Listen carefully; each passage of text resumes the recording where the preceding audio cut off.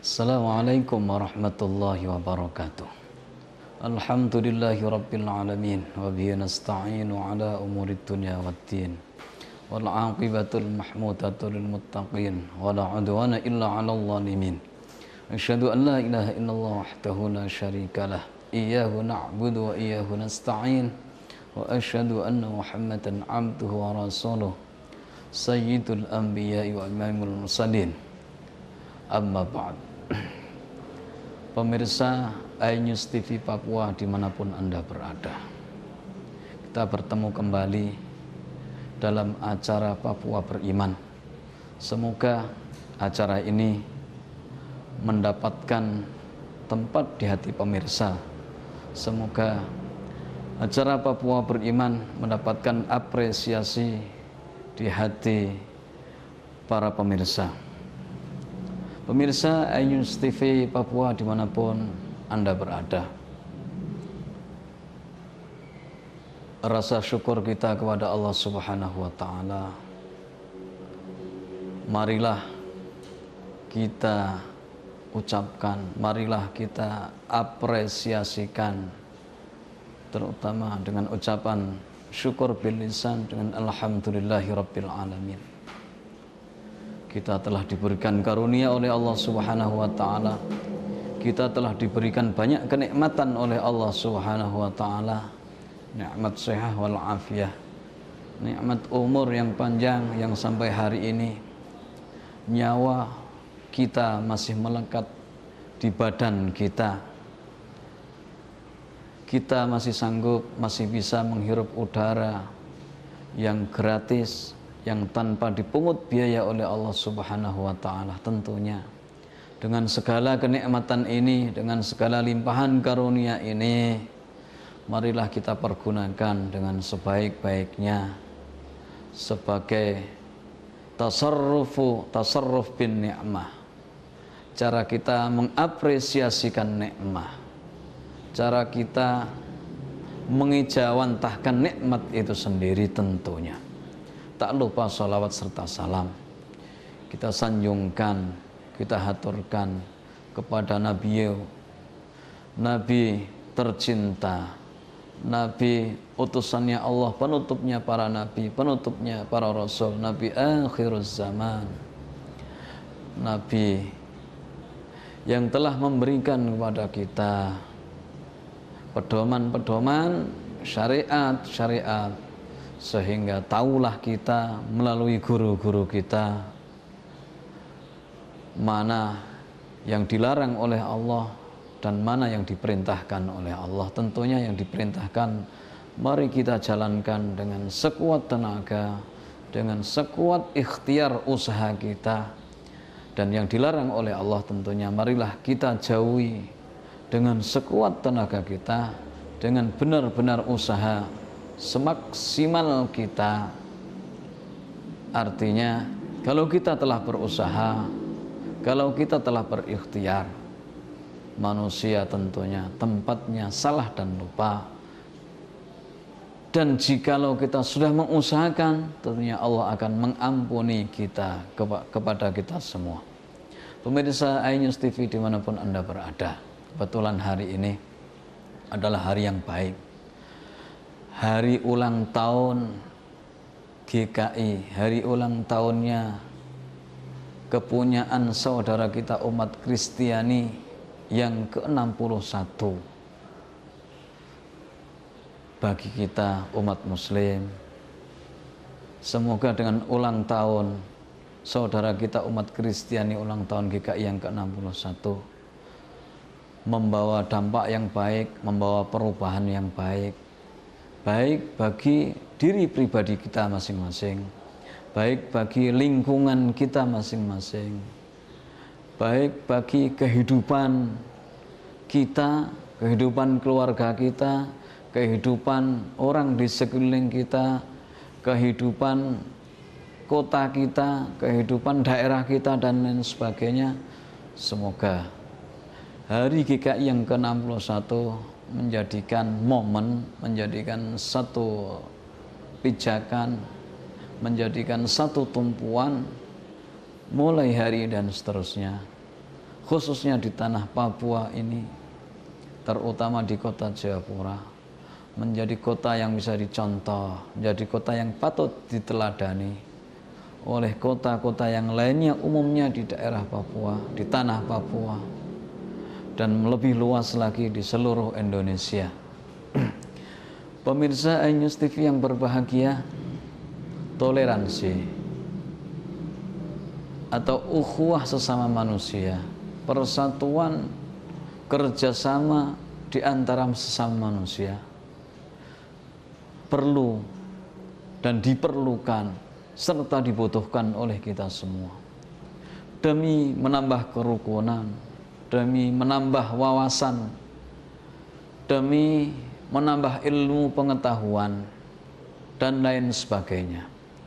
Karena barangkali Allah berikan kepada kita sesuatu yang terbatas, yang kita punyai, yang kita mampu, barangkali orang lain tidak punya, tidak mampu. Tetapi yang mereka punya, yang mereka mampu, barangkali kita juga tidak seperti mereka. Artinya Allah memberikan kepada kita semua serba terbatas. Makanya Allah di dalam Al-Quran berfirman, Fas'alu ahla dzikri in kuntum la ta'lamun. Maka bertanyalah kalian, wahai ahli zikir, wahai orang yang ahli mengingat, jikalau kalian semua tidak mengetahui. Itu artinya pengetahuan kita terbatas. Pengetahuan kita sangat sedikit, ilmu kita sangat sedikit semua perlu bertanya. Apa yang kita tidak tahu, kita perlu berguru. Apa yang kita belum mengerti, perlu kita tanyakan kepada orang yang alim, kepada orang yang mengerti. Dan untuk hal tersebut tentunya dibutuhkan interaksi, tentunya dibutuhkan hubungan, tentunya dibutuhkan muamalah, tentunya dibutuhkan kerjasama. Baik kerjasama antar sesama manusia yang seagama maupun antar sesama manusia yang berlainan agama dan lain sebagainya. Kalau hal yang demikian bisa kita lakukan, bisa kita laksanakan, bisa kita jalankan dengan baik, tentunya akan menambah keindahan. Tentunya akan semakin menambah keelokan hidup kita di dunia ini. Karena di mana-mana tentunya banyak perbedaan. Di mana-mana tentunya terdapat perbedaan. Di mana-mana tentunya banyak sekali ketidakcocokan, kesimpang siuran dan lain sebagainya. Tetapi kalau lewat perbedaan tersebut kita bisa menyatukan tujuan hidup kita ini. Kita bisa mencari solusi bagaimana dalam rangka kita hidup di dunia ini bisa bersatu padu, bisa gotong royong, bisa tolong menolong. Tentunya hidup ini akan semakin enak, akan semakin nyaman, semakin damai, tentram, indah dan lain sebagainya. Dilihat oleh orang lain, dilihat oleh daerah lain, dilihat oleh negara lain barangkali. Indonesia umumnya tanah Papua pada khususnya akan terlihat indah sekali gaungnya. Akan terlihat akan terdengar baik sekali citranya itu semua tidak lepas dari kerjasama baik dari orang per orang intansi pemerintah, pejabat, para tokoh agama, tokoh adat, alim ulama, dan lain sebagainya, pimpinan-pimpinan organisasi, dan lain sebagainya. Dibutuhkan kerjasama yang sedemikian rupa untuk memantau kondisi lingkungan sekitar kita, untuk melihat kondisi kaum kita, umat kita, kondisi teman-teman kita, kondisi orang-orang yang perlu kita pantau, perlu kita waspadai dan lain sebagainya. Terlebih di kota Jayapura ini, kejahatan akhir-akhir ini semakin marak, semakin meningkat. Pencurian di mana-mana, penjambretan di mana-mana, kecelakaan timbul di mana-mana. Itu semua karena diakibatkan kelalaian kita. Karena akibat dari kealpaan serta kelupaan kita. Seharusnya sebagai orang yang mampu barangkali diberikan kelebihan harta oleh Allah Subhanahu wa taala. Diberikan kelebihan materi oleh Allah Subhanahu wa taala. Mereka bisa tasarrufkan, mereka bisa realisasikan, mereka bisa salurkan kepada orang-orang yang membutuhkan, kepada orang-orang miskin, kepada orang-orang fakir, kepada orang-orang yang betul-betul sangat membutuhkan uluran tangan para dermawan, uluran para hartawan yang dermawan. Karena itu barangkali karena kurangnya perhatian orang seorang hartawan kepada mereka-mereka yang tidak punya. Akan beginilah akibatnya. Akan menimbulkan sesuatu hal yang negatif, akan menimbulkan sesuatu hal yang kita tidak inginkan. Mestinya kita yang kita harapkan, yang kita inginkan, yang kita cita-citakan adalah kedamaian, ketentraman, keamanan, tidak ada kerusuhan di mana-mana. Kita bisa menjalankan kebiasaan kita hari-hari kita dengan enak, dengan nyaman. Tapi kalau ada hal yang mengganjal, ada keributan, ada sesuatu hal pelanggaran hukum di mana-mana tentunya kita juga tidak nyaman untuk menjalaninya. Oleh karena itu marilah di hari yang baik ini bagi umat Kristiani pada khususnya yang telah merayakan hari GKI yang ke-61 kita apresiasi, kita acungkan jempol supaya dengan hari yang baik itu dimanfaatkan dengan sebaik-baiknya, dipergunakan dengan seindah-indahnya, dengan seelok-eloknya, dipergunakan sesuai dengan dipergunakan sesuai dengan naluri manusia bahwa naluri manusia tentunya menginginkan kebaikan naluri manusia menginginkan sesuatu yang baik-baik saja.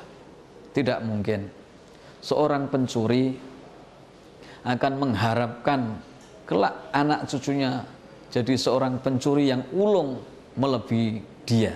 Tidak mungkin.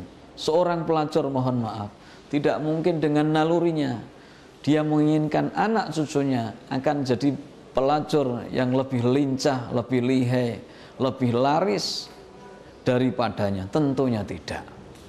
Tentunya mereka yang sekarang baru diuji, baru dicoba oleh Allah jadi seorang yang selalu berbuat negatif, jadi seseorang yang dikategorikan perbuatan melanggar hukumnya Allah dan melanggar hukumnya negara. Tentunya semoga mereka diberikan keterbukaan oleh Allah, terbuka hatinya terbuka akalnya, terbuka pikirannya bahwa yang dilakukannya adalah hal yang tidak baik. Bahwa hal yang dilakukannya adalah hal yang berbau dosa.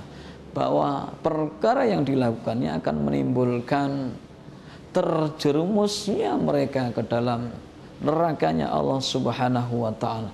Semoga mereka segera dibukakan pintu hatinya oleh Allah dan segera bertaubat mohon ampunan kepada Allah Subhanahu wa taala.